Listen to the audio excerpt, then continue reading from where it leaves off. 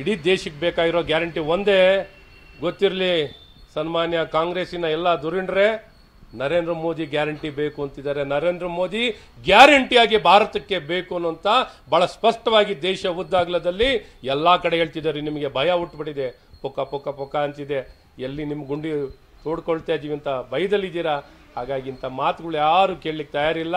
ಎಲ್ಲರ ಆಶೀರ್ವಾದ, ಅಕ್ಷತ ಕಾಳನ್ನು, ರಾಮನ ಆಶೀರ್ವಾದವನ್ನು ಪಡೆದು ಭಾರತೀಯ ಜನತಾ ಪಾರ್ಟಿಯ ಕಮಲದ ಗುರುತಿನ ಮತವನ್ನು ಕೊಟ್ಟು ಮತ್ತೊಮ್ಮೆ ಮೋದಿ ಅಂತ ಜನ ಆಶೀರ್ವಾದವನ್ನು ಮಾಡಲಿಕ್ಕೆ ಇಡೀ ದೇಶ ಉದ್ದಾಗಲದಲ್ಲಿ ತಯಾರಾಗಿದ್ದಾರೆ.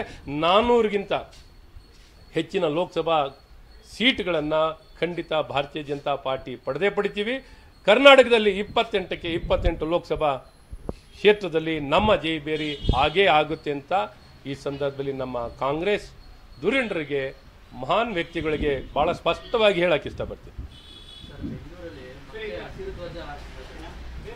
ನಿನ್ನೆ ಶಿವಾಜಿನಗರದಲ್ಲಿ ಆಡಿದ್ರು ಈಗ ಜೆ ಜೆ ನಗರದಲ್ಲಿ ಹಸಿರು ಧ್ವಜ ಹಾರಿಸ್ತಾ ಇದ್ದಾರೆ ಏನು ಅಂದರೆ ಈ ಕಾಂಗ್ರೆಸ್ ಪಕ್ಷ ಕರ್ನಾಟಕದಲ್ಲಿ ಅಧಿಕಾರಕ್ಕೆ ಬಂದ ಸಂದರ್ಭದಿಂದನೂ ಅರಾಜಕತೆ, ಬೇಕಾಬಿಟ್ಟಿ.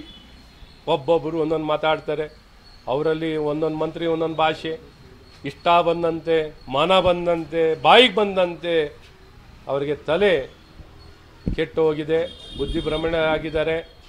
ಯಾವ ರೀತಿ ನಡವಳಿಕೆ ಬಾಯಿಗೆ ಬಂದಂಗೆ ಹೇಳ್ಕೊಂಡು ಎಲ್ಲಿ ಬೇಕಾದ್ರೆ ಏನು ಬೇಕಾದ್ರೆ ಮಾಡೋ ರೀತಿಯಲ್ಲಿ ಅರಾಜಕತೆಯ ವ್ಯವಸ್ಥೆಗಳನ್ನು, ಕಾನೂನು ಸುವ್ಯವಸ್ಥೆಯನ್ನು ಕಾಪಾಡೋದ್ರಲ್ಲಿ ಸಂಪೂರ್ಣ ವಿಫಲರಾಗಿ ತುಷ್ಟೀಕರಣದ ರಾಜಕಾರಣ, ಸಮಾಜವನ್ನು ವಿಭಜನೆಯನ್ನು ಮಾಡೋದ್ರಲ್ಲಿ ಕಾಂಗ್ರೆಸ್ಸಿನ ಸಂಸ್ಕೃತಿ ಪಾಲನೆ ಮಾಡೋ ಮೂಲಕ ಇವೆಲ್ಲ ಎತ್ಕಾಣ್ತಿರೋದು. ಜೆ ಜೆ ನಗರ, ಶಿವಾಜಿನಗರ, ಇನ್ನೊಂದು ಕಡೆ ಶಿವಾಜಿನಗರದಲ್ಲೂ ಇವತ್ತು ಈ ರೀತಿ ಮನ ಬಂದಂತೆ ಇಡೀ ರಾಜ್ಯದಲ್ಲಿ ಒಂದು ದಿಕ್ಕಲ್ಲಿ ಕಾನೂನು ಪಾಲನೆ ಮಾಡಿದಂಥ ಭಾಗವಧ್ವಜವನ್ನು ಆಗದಂಥ ವ್ಯಕ್ತಿ ಮೇಲೆ ಕಾನೂನು ಕ್ರಮ.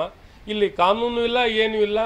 ಸಾರ್ವಜನಿಕ ಸ್ವತ್ತಿನ ಒಂದು ಪೋಲ್ ಮೇಲೆ ಎಲ್ಲಿ ಬೇಕಾದ್ರೆ ಮನ ಬಂದಂತೆ ಹಾಕ್ತಿದ್ದಾರೆ, ಇದೇನು ಸರ್ಕಾರನ? ಏನಿದೆ ಇಲ್ಲಿ ಅವ್ಯವಸ್ಥೆ ಅನ್ನೋವಂಥದ್ದು ನಾನು ಭಾಳ ಸ್ಪಷ್ಟವಾಗಿ ಸರ್ಕಾರವನ್ನು ಕೇಳಕ್ಕೆ ಇಷ್ಟಪಡ್ತೀನಿ. ಯಾರ ದುಷ್ಕರ್ಮಿಗಳು ತಕ್ಷಣ ಬಂಧಿಸ್ಬೇಕು. ಆ ದುಷ್ಕರ್ಮಿಗಳು ಯಾರು? ಈ ರೀತಿ ಧ್ವಜಗಳನ್ನು ಹಾಕಿದಾರೋ ಅವ್ರ ಮೇಲೆ ಬಂಧಿಸುವಂಥ ಕೆಲಸಗಳನ್ನು ತಕ್ಷಣ ಮಾಡಬೇಕು ಅಂತ ಸರ್ಕಾರವನ್ನು ಒತ್ತಾಯ ಮಾಡ್ತೀವಿ.